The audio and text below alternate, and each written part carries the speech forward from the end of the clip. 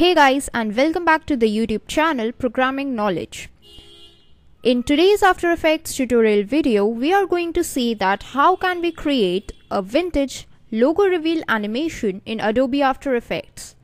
So first of all, let us preview that what we are going to create.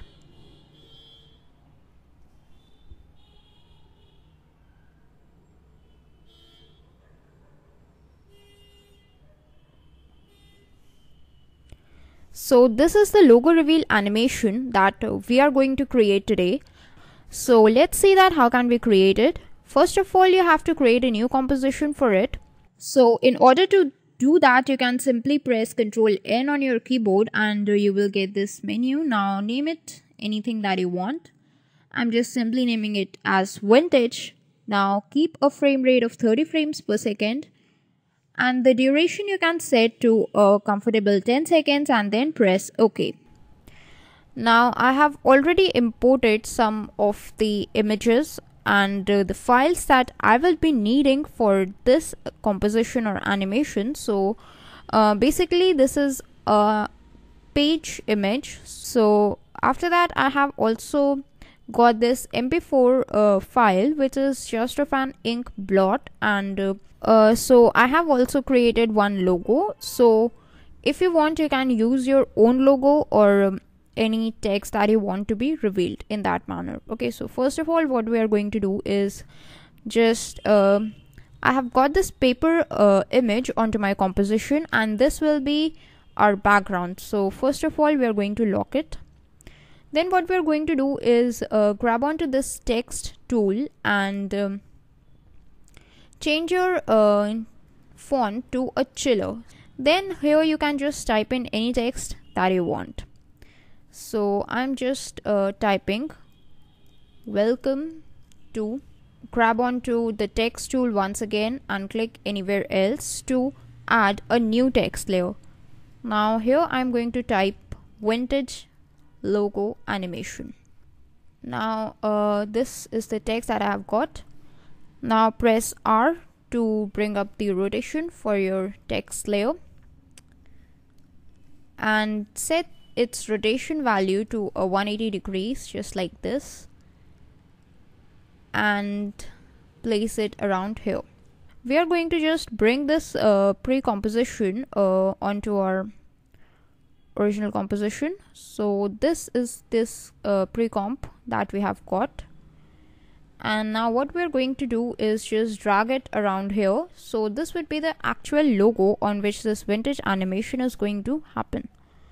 So before that what we are going to do we are going to animate the positions of this uh, animation. So around 3 seconds is when this logo is uh, going to start revealing itself then what we are going to do is um, just drag this ink blot video into our composition. Now select this ink blot video and this logo composition together and pre-compose them again.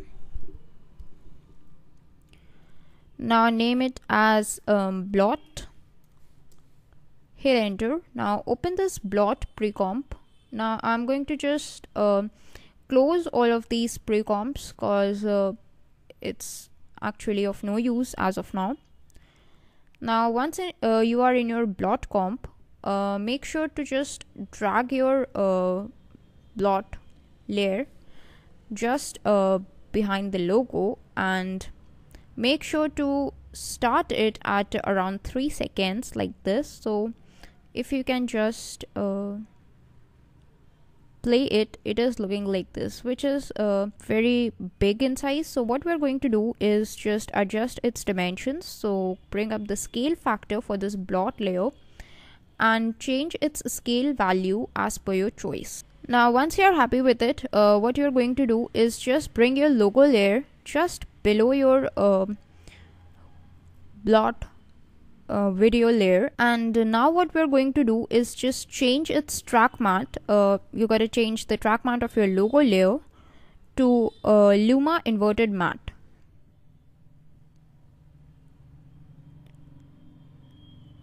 So yes this looks pretty good to me. And uh, now basically everything is done. The only thing that is remaining is a little bit of camera work so what we are going to do for that is just select all of our layers and pre-compose them together uh, just give it any other name like final. Then uh, add a new camera layer. Keeping on the default settings press ok okay so that is the issue that we have got and before adding a camera layer what you have to do is just make sure that your comp layer is changed to a 3d because camera only works on a 3d layer.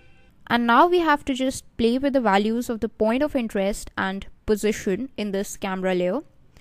Uh, but before that what we're going to do is go to this unified camera tool and make sure that this xy uh, head is in front of you. So just manipulate this values a little bit you can also press C to bring up uh, the desired tool that you want. Basically what we are going to do is uh, just make our focus on a single word. Like first of all we are going to focus on welcome to and then we are going to focus on our next text layer and then we are going to change the focus uh, to our logo. So this is the first point where our animation is going to start so here what we are going to do is just keyframe the values of point of interest and position like this. Now you can just uh, go back to the camera layer and press U so that only these keyframes are visible.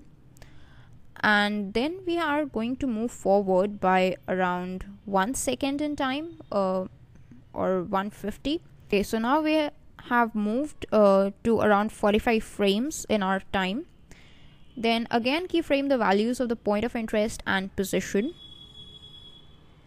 Then move forward by around uh, 2 to 3 keyframes. Then what we're going to do is just change this value to here. Here you again gotta just change this um, values a little bit so that your vintage logo animation text is visible completely.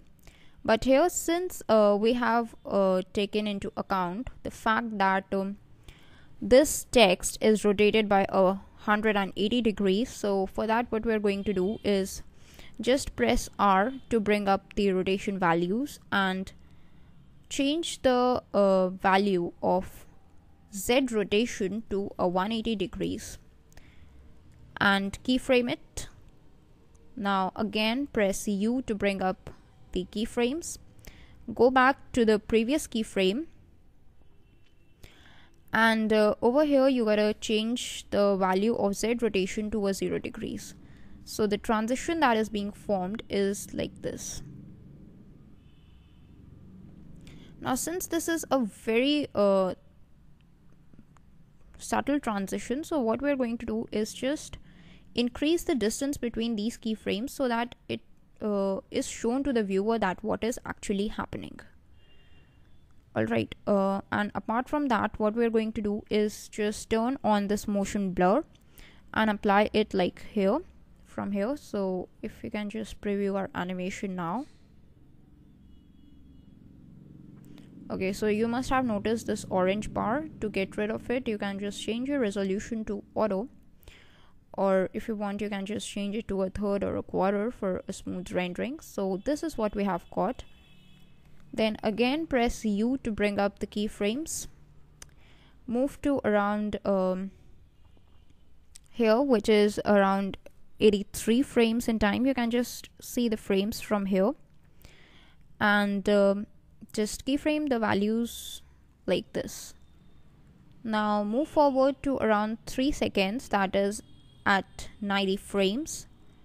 Here we have to move our point of interest uh, to the place where this logo was supposed to be revealed. This is the perfect dimensions for my logo as I think but again it's totally up to you it's totally your choice you have to move the values as uh, per your wish or as you like so if we can just continue with our animation then it ends over here at around 6 and some seconds. So just press n to cut it down.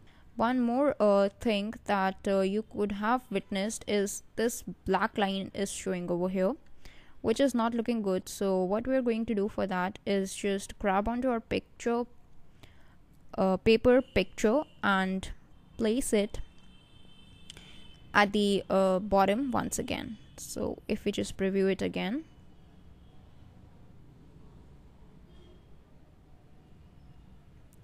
so this is what we have got and i hope you all have enjoyed this tutorial.